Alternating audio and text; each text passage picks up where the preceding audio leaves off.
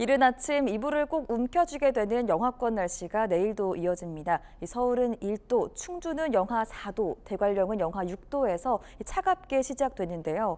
기온이 오늘과 비슷하거나 조금 낮으니까요. 오늘 챙긴 외투보다 더 두꺼운 외투를 준비하시는 게 좋겠습니다. 특히 새벽부터 아침 사이엔 내륙에 서리가 내리고 얼음이 어는 곳이 있겠습니다. 미끄러움 사고와 농작물 냉해에 유의해 주시길 바랍니다. 오늘 동해안과 남해안 지역으로 건조특보가 내려진 곳이 있었는데요. 내일도 전국적으로 맑은 하늘이 드러나면서 대기가 계속 마를 걸로 예상됩니다. 화재 사고에 각별히 주의해 주시길 바랍니다.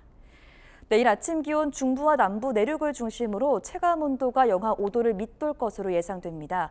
또 낮 동안은 10도 이상 크게 오르면서 15도 안팎을 기록할 전망입니다.